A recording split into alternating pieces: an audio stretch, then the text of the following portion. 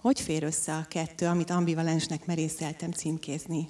Jogász vagy és fotográfus egyszerre. Nagyon szépen köszönöm a meghívást. Egy hasonlattal szeretnék élni. Édesapámtól egész kicsi koromban egy nagyon hasznos bölcsességet kaptam a kezembe. Nincs az az épeszű ember, aki egy hideg téli nyírkos reggelen a jéghideg uszodavizét kívánná. De amint az első karcsapásokat megtesszük, megtelik testünk erővel, életerővel, szépen tisztán indulunk a napnak. Ezt magam is így látom, és ilyenkor érzem, hogy igazán legyőztem azt, aki a könnyebb utat választaná. Számomra ezt jelenti a jogi pálya. A jog a szabadság felé vezető utat jelenti, jelenti számomra lassan húsz éve. Úgy is mondhatnám, hogy a joggal járó emberi küzdelmek, megpróbáltatások számomra a szabadságom árát jelentik. Lehetővé teszik, hogy felelősségteljes édesanyja tudjak lenni a kisfiamnak, és egy becsületes munkát ad a kezembe. Nem a szükséges rossz, hanem az emberileg kötelezően megteendő szükséges feltétel ahhoz, hogy szabados, szabadon alkothassak. És most vagyok igazán hálás a családomnak és a barátaimnak, akiktől mindezt tanultam, amit én magamban csak a felnemadás művészetének nevezek, és igazán édesanyámnak, aki tartja bennem a lelket. Köszönöm, nagyon-nagyon szép, ahogy válaszoltál, és rengeteg részletgazdagság van benne. Ahogy abban a műben is, amit őszintén szóval, amikor én először láttam, akkor megkönnyeztem. De hogy azt is tudom, és most már kérem, hogy áruld el a nézőknek is, hogy ennek az alkotásnak vannak mérföldkövei. Bizony nagyon nagy mérföldkövei vannak sokunk életében, és azt hiszem, hogy ezért olyan szép ez az alkotás, mert ez többeknek az alkotása.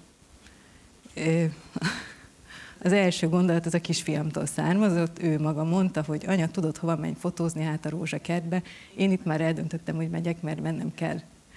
De ezekben a napokban ö, olvastam egy hirdetést, a Kecskeméti Cédrus Egyesület egy fotóz ö, rózsát a rózsakertben című ö, fotópályázatot hirdetett. És hát biztosan ismerik azt az érzést, amikor, amikor a gondviselés mosolya átfut az emberen.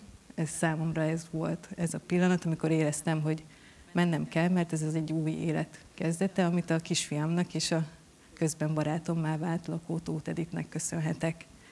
És ebben az időszakban Barta Dóra érdemes művész jobb voltából lehetőségem nyílott a Kecskeméti Katona József Nemzeti Színház tánckarának, a Kecskemét City Ballettnek a próbáin is részt venni, illetve egy nemzetközi tánckurzus is épp ekkor zajlott Kecskeméten, és mehettem a fényképezőgépemmel a kezemben, illetve hálával a szívemben.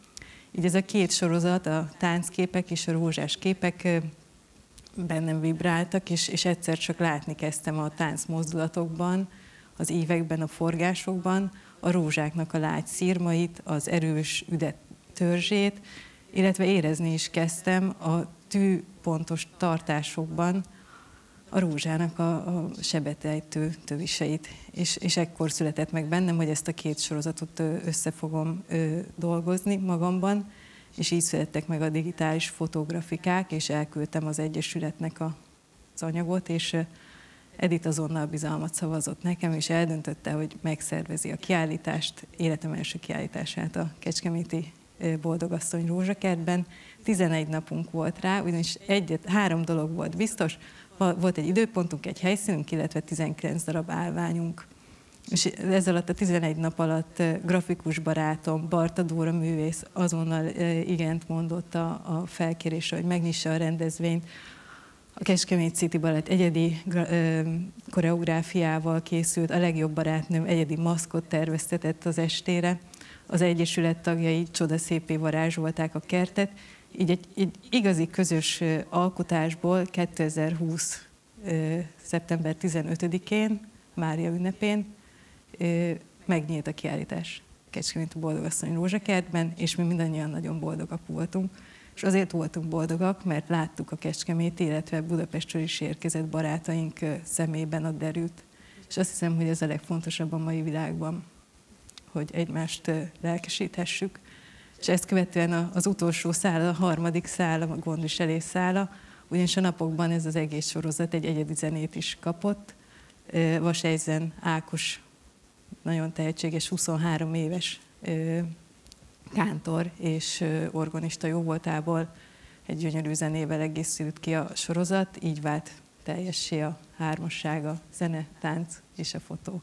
És még annyit elmondanék, hogy most jelenleg a, a kiállítás a Kecskeméti Kórház egészségkertjében kapott átmeneti otthont, és hitem szerint szolgálja az ott betegeskedő, illetve dolgozó emberek testi-lelki egészségét, gyógyulását azon a helyen, ahol nem sokkal ezelőtt én magam is csak oda felfelé tudtam tekinteni.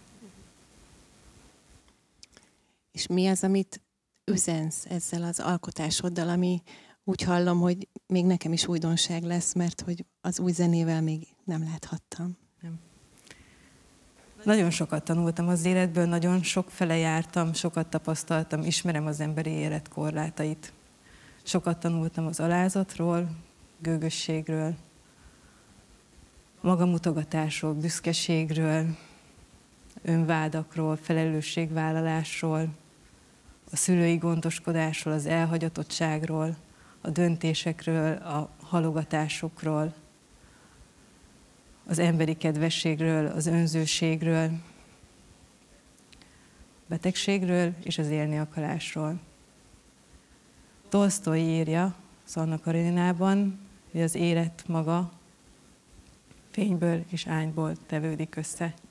És én magam is azt hiszem, hogy valamennyiünkben mindezek a kettősségek, mélységek és magaslatok megtalálhatók, hisz ez az emberi természet része.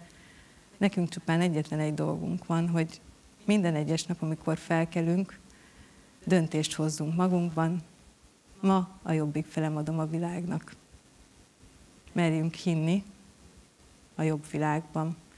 Ennek a fotósorozatnak mindösszesen ennyi a célja, hogy mindazon emberek, akik megállnak a képek előtt, lássák meg magukban a szerethetőt és a szépet,